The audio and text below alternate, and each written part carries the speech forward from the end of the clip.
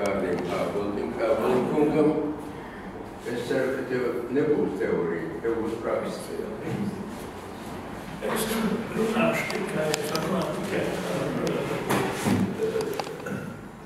ar pašvaldību bankām Vācijā un Luksemburgā. Tas man liekas, ka es esmu uzaugusi Vācijā un vairāk bijis Bavārijas pašvaldības, Bavārijas valsts bankas, pašvaldību virsbankas līdzvadītājs Luksemburgā. Un, eh, es vēl šodien nodarbojos banku struktūrās un tomēr uzaicināja, eh, uzaicināja Pasaules banka braukt uz Irāku, lai tur sakārtot bankas sistēmu. Es to iespējams nedarīšu. Jā, es to ļoti iespējams nedarīšu, jo es tā domāju, ka tas uzaicinājums ir tikai tādēļ, ja to veco cilvēks uzspridzinās gaisā, ka nebūs tik liela nelaime, uzspridzināt kādu jaunu čali augšā. Tādēļ tas tā, labi, tad runāsim par pašvaldību bankām. Vāciju. Vācijā pašvaldība Vācijā ir trīs, trīs banku pīlāri. Tas ir krājasdarbs sabiedrības, tas ir pašvaldība tas uh, krājasdarbs sabiedrības rūpējās par savu biedru labklājības celšanu. Pašvaldība bankas rūpējās par savu reģionu attīstību, pie kam, uh, pie kam profits vai, vai pēļņa nav noteikti. Ļoti daudzām pašvaldībām ir patiešām tā noteikts, ka pēļņa pārveidojas par sēklas kapitālu jauniem uzņēmējiem. Jā, ka nav pēļņa, bet, bet pēļņa, teiksim, neizmaksā pēļņa kaut kam, bet pēļņa izveido priekš tā, lai jaunus uzņēmējus, jauniem uzņēmējiem sēklas kapitāls. Šitā varianta kā veicināšanas institūta Vācijā pašvaldību bankām nav, pašvaldību bankas ir reģionālas bankas, dabūt tikai kāds reģionos un, un, un, un pēļņa nav noteicoša. Ja rodās pēļņa, to izdara tam dēļ, lai būtu, lai maza, mazos un vidējos uzņēmumus, un jauns uzņēmumus attīstīt. Tas ir galvenais noteicošais. Pašvaldību bankas darbs stāvā sakojoši. Pieņem, audzē, pieņem, pieņem audzēknis 16 gadu vecumā, ka viņš ir veids skolu. Ir trīs gadus uh, izmāca. Un tad viņa ir pašvaldību uh, banku asociācijām ir savu veidu institūti, kur viņi māca strādāt. Tad šie bankas cilvēki ne, neiet kaut kur strādāt, uh, studēt kaut kādas universitātes vai kaut kas tam līdzīgi. Visu laiku tikai pašvaldības, pašvaldības uh, lokā. Tas nozīmē, un uh, pašvaldības bankas uh, stāv zem attiecīgās pavalsts banka, pavalsts banka. Un tā pavalsts banka, kas ir pārpaša tā pašvaldība banka, tā ir tā, kur kanto, kas ir faktiski refinansēšanas banka, to dzīvo, ko viņi dara. Ja kādai pašvaldība bankai ir par daudz naudas, tad viņi aizsūt iedot to e, pavalsts bankai. Kas ir pavalsts banka? Ko? Kas ir pavalsts banka? Pavalsts banka, tas ir, ka attiecīgās Vācijas, Vācijā ir Vācija federatīva, federatīva zeme, jā. Piemēram, Ziemeļā Vestfālija ir tu, un Ziemeļā Vestfālija bija, bija tā, gan aizgāja. Par to es vēl runāšu. Bija uh, attiecīgā pavalsts banka, kas kārtoja visu uh, pašvaldību banku sevišķi. Kā es teicu, refinansēšana jau kādam vajadzēja naudu, nevar no turienes. Un šīs, uh, un uh, pavalsts bankas kārtoja visus starptautiskos darījumus, jo, jo pašvaldību bankas nekārto normāli starptautiskos darījumus, jo priekš tiem nav vienkārši attiecīgi daudz speciālistu. Ja. Tam dēļ jau viss Vācijas pavalsts bankas bija Luksemburgā, un, un, un Luksemburgā tikai Vācijas pamat paliek tik drausmīgi bagāti, jo Luksemburgieši bija tie, kuri saprat, ka viņas tur uzaicinās vācieši pēc otrā pasaules kara pie sevīm, lai viņi varētu darīt tos starptautiskos darījumus. Tā esam nonācis pie Bavārijas pavalsts bankas 72. gadā un kļūt tur par pavalsts bankas līdzvadītāju. Mēs kārtojam visu Bavārijas pašvaldību banku, banku to starptautiskos darījumus. Un skatījāmies arī, ka Bavārijas paš, pašvaldība bankas ir saņem attiecīgs naudas darījums, kas viņiem bija vajadzīgi. Tas tādā veidā tas tika darīts. Kā es teicu, izglītība ir pilnīgi citādi. No komercbankām normāli, komercbankas normāli pieņem, pieņem kā, kā darbinieks cilvēki, kuri ir studējuši ekonomiku, ja, pašvaldību bankām ir, ir paši savu izglītības ceļu. Ja, lai tas, tas nebūtu. Un uh, pašvaldību bankas Vācijā ir radušās kā, kā, kā, kā Kreisler savienības, pašvaldību bankas ir radušās aspektu, lai mazinātu nabadzību uh, reģionā un. Vai, piemēram, ir diezgan daudz pašvaldību bankas Vācijā, kuras ir pietiekami, lai uh, bilants uh, publicē, kad ir tas pirmais uzrakstīts, šeit ir uh, slima, nabada un slimo, kas, kas bija bilants, jā, kas, kas ir pirmsākumi bijuši pirms cik tur gadiem. Tas pats ir ar, ar, ar krājuma sabiedrībām, ka Vācijā krājuma sabiedrības par to, ka viņi briesmīgi neraža. Un viens vācu mācītājs, kas, kas izdomā šo variantu ar krājuma sabiedrībām, varbūt kāds zina, ka tas ir tāds vārds Raiffeisen, kurš finansēja šo pareizi banku toreiz, un es toreiz zināju, ka tas nekas nebūs.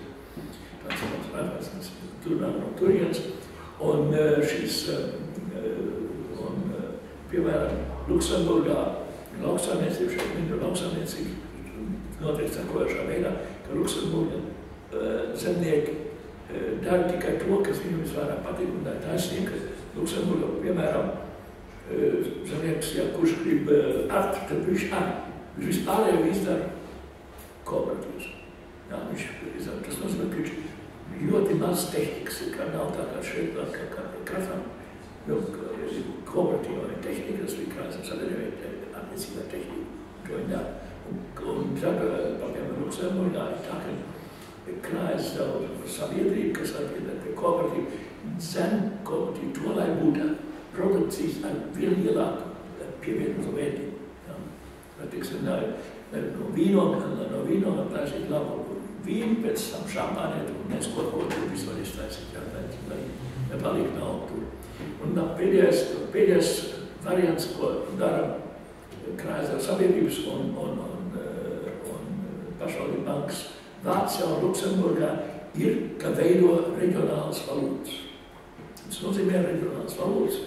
Ir sauktās uh, naudas, kur, kur, kur, kur zūd, viņas jāatjauno ik pa katram pāris mēnešiem, citādā neiet. Un to naudu pieņem tikai uz, uz, uz brīvprātības pamata, bet tas nozīmē, ka tādā veidā nauda paliek reģionā. Neaizpūspējama. Pat, nu, pat bagātā Luksmurgā nodibināja reģionālu valūtu Vācijā kāds 40 reģionālas valūtas. Uh, Pirmajā avīzē brīvā Latvijā nu pat ir mans raksts par reģionālām valūtām, kas būtu jā, kas, kas būtu jātīst Latvijā pēc tam, kad ievērt uh, eiro, lai nauda palikt, nauda palikt Latvijā un, un attīstītos reģionu. Nu, Vācijā pašai dara ir kādas jau 40 reģionālas valūtas, paliek ar vien vairāk reģionālas valūtas, un krājas ar sabiedrības pašvaldības bankas emitē, emitē reģionālas valūtas, aizvēršķās, bet lai nauda nekļūst kaut kur globāli. Skaidrs arī Vācijai visās, visās, visās lielveikalās, kur, kur nauda kļūst projām, lai tas nenotiek, lai nauda paliek reģionāli. Tad aizsargāt vairāk reģionālas valūtas, Latvijā tas pēc eiro ieviešanas būtu jādara absolūti nekavējoši. Tas būtu arī uzdevums, kas būtu jāveic šeit, krājas ar sabiedrībām vai reģionālām bankām. Mēs savā rakstā rakstīt, kas jādara vairāk ir krājas ar sabiedrībām, jo es apšaubu, mēs kādreiz nonācim pie pašvaldību bankām, jo šeit tā, tā, tā doma vieta nav. Un Latvijā šajās neoliberālisms ir tādēļ, kad pēc, pēc Latvija ieguva savu divi, tad galvenokārt, kas to varēja darīt, ja bija amerikāņi, kas vislabieši aizstūm uz fulgāts stipendijā uz Ameriku. Vāciešiem toreiz jā, jāsavieno labs mācīs, un viņam nebija, nebija iespējams to darīt, un tādēļ mēs pienācām pie neoliberālismu. Un kaut gan Eiropas valstīm sociālās tirgus ekonomikas ar to domu, ka to, ko var darīt uz vietas, ir jādara uz vietas. Tas vēl viss laiku ir, un tas sauc par subsidiārkārtas principu, un tas to arī ierobežo Eiropā. Un vienīgā problēma, ka ar Eiropu ir tas šās visas bankas krīzes pamanā, grib, grib lielāku banku pārvaldību, bez sistēmiskām bankām, es tam piekrītu, tas ir jādara. Ja? Bet, uh, piemēram, krājās sabiedrības, kur vienu otru Vācijā garantē, vienu otru. Vācijā neviena krājās sabiedrība nav bankrotējusi. Nekā neviena pašvaldība banka nav bankrotējusi, jo viss viens otru pār, pār revenīvu pārvaldību. Un līdz ar to tas nebūtu vajadzīgs priekš, priekš centrāla pārvaldība no Eiropas puses vajadzētu tikai komercbankām, sistēmiskām komercbankām. Nevis krājas ar sabiedrībām, kuras vienoti garantē pārtika. Tāpēc nevajag pašvaldībām, tā nebūtu vajadzīgs. Ja. Un arī Latvijā pēc pašvaldību bankām būtu jābūt vienai, vienai virsbankai, kas refinansētu un izdot obligācijas, izdot obligācijas, kuras pārdot tāpat, kā to dara, Luksemburgieši, kurš pārdot pagādiem Krievijai, Es kam. Piemēram, Luksemburgā šī varianta neviens hektārs lauksaimniecības zemes nepiedara ārzemniekiem, neviens. Neviens jūs nevarēja dabūt.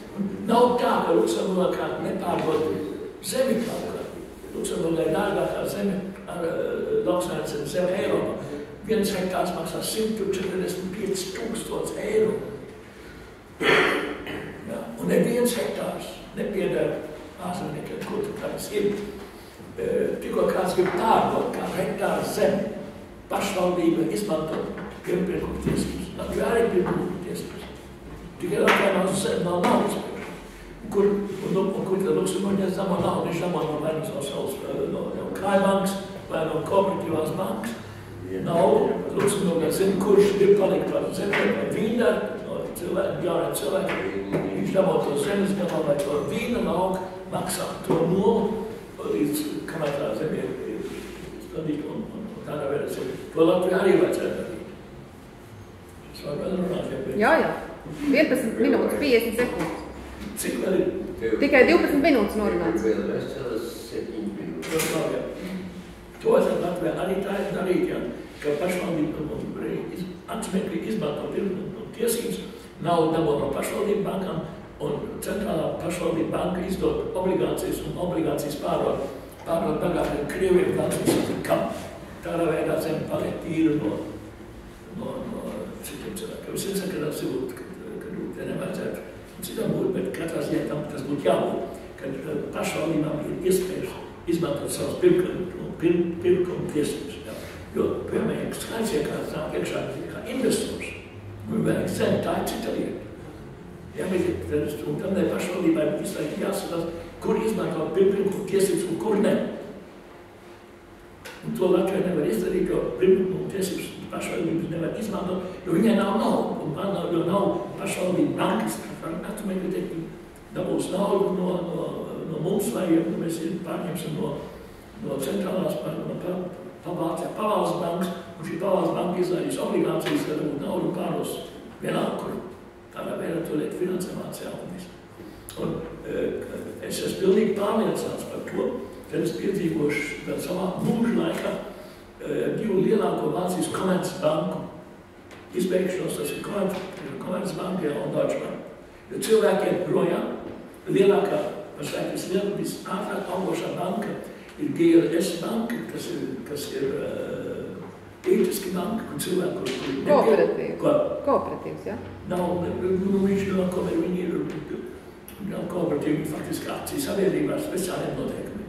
Bet viņi ir, tā, mēs nepiedaram spekulācijā, mēs nepiedaram, mēs nespekulējam ar to, ar to, ar to, un tur cilvēki iet iekšā vienkārši tam dēļ, vienkārši tam dēļ, ka, ka viņi negrib vairs šito, šito spekulā, spekulāciju, kas, kas noved, noved pie, pie visām finanšu krīzē un tā tālāk.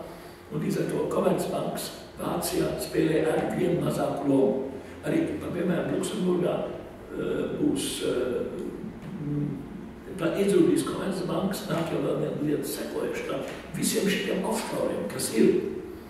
Tur tik ātri var tos datus pārņemt un viņus publicēt. Tā kā notika Šveici, viņš publicēja apsmakļi pārāk un mieru. Tā kā nav nekāda jēga vairs offshore, tur ir nauda. 22. to publicē. Es nezinu, nāk nav, nāk atpakaļ uz, uz, uz reģioniem. Tad ir Luksemburgā būs, es domāju, Luksemburgā vismaz kāds 50 bankas tekstas ciet. Bet Luksemburgā ir fondu ļoti daudz. Un paliks visai manā. Bet bankas tekstas, ārzembank, offshore bankas tekstas ciet Luksemburgā. Pirmais. Es biju pirmais dzīvais offshore Luksemburgā. Tad jāsaka. Man toreiz bija bezdienāts ārzemnieka pasa. Un es nekur nebiju nodokļu iekšēnēs, es biju visu nodokļu ārzemnieks, es man nevajag, nevajadzēja nekur maksāt nodokļus. Kā es nebūju vispārējās pasas. Es biju, nu, jo visi, visi normālie trījus latvieši, kas bija, mēs ļoti vēl paņēmām nacionālu kaut kādu nacionalitāti. Mēs visi bijām bezdzimtas ārzemnieki. Un tiem, tiem nebija jāfakt, nebija jāmaksā nekur nodokļi. Tas bija pirmais offshore par maniem gāzās naudas stāvs, kad lūdzu. Bija tāds speciāls, speciāls variants. Bet tas izbeigsies pēc offshore. Pie kam, pie kam arī Latvijā vajadzētu konstatēt, teiksim, kā mēs, kāds holdings mēs neesam šeit. Vīgā, kas būtu pareizi, ja, piemēram, ja viens uzņēmums, kopula uzņēmums no Azerbaidžānas un Kazahstānas, piemēram, ja, ja nevaram vienoties par kādu, kur, kur mūs uzņēmumu vadību. Tad vajadzētu iztaisīt tā, ka, ka Rīga piedāvās, Latvija piedāvā sevišķi labs noteikums tādā vadību šeit. Tas ir arī Luksemburgas valdība variants, ja, jo daudzreiz, pa, piemēram, skaidrs jau Itāļi un, un, un, un, un Itāļi Vācijas kopuzņēmums. Itāļi nepielaidīs, ka, ka, kopuzņēmumu uh, valdība būs Vācijā un vācieši ne, ne, nepieļaus, ka valdību vadība būs uh, Itālijā. Tātad viņi vienojās par to, ka, tas, ka kopu uzņēmumu vadība ir, ir Luksemburgā, piemēram. Ļoti noteikumi Luksemburgā bija ļoti daudz visādi veidu holdingu. Šodien tas ir, un tas, to vajadzētu Latvijā arī darīt ar attiecību holdingu sistēmu. No otras puses, to es papildām teicu, visi, visas transakcijas, kur nav šāda, visas transakcijas ar offshore, kur nav šāda veida holdinga aspekta, tos vajadzētu aplikt ar 100% transakcijas holdingu. To vajadzētu izdarīt atbildes nekāds. Es saprotu, ka tomēr zinām, zinām vajadzību šādas uh, naudas aizsūt kaut kur projām. Ja? Tas būtu jādara. Tā kā tas ir. Un vēl ko, un, uh, kā es teicu, krājas ar sabiedrības rūpējās par savu biedru, labklājību, un pašvaldību nāks rūpējās par pašvaldību reģionu. Tā. Okay. Jautājumi vienam un otram. Paldies Dievam, visiem ir skaidrs. Vai ir kāda vēlēšanās kādam kaut ko pateikt, kādu savu komentāru? Dīt, vai nav? Nu. Lai izdodas šīs gaišās domas mums realizēt. Izstāst mums stāst publikai. Ļoti jauki, drosmīgi. Paliek uz vienu pašvaldību, ja? Varbūt Nu, ko? no Strasburgas kunga prezentācija jūs varētu atsūtīt, tas varbūt. Pasakiet, ejos, es esmu. Un Tad ir reģistrācijas lapā man Jums ir, jā? ieviešas no Tad Valērijas var iedot. No Jā, jā, mēs iedosim un es. Man vienkārši tā atcerēties man grūti, jāpastāstīja. No kuras pašvaldības? Ir īsi. Izšķirat. Viņš ļoti īsti ir ļoti plašāk un tuvāk pieejam. Jā. Tā būs grūti jums saprast. Viņš iedos izsmeļot.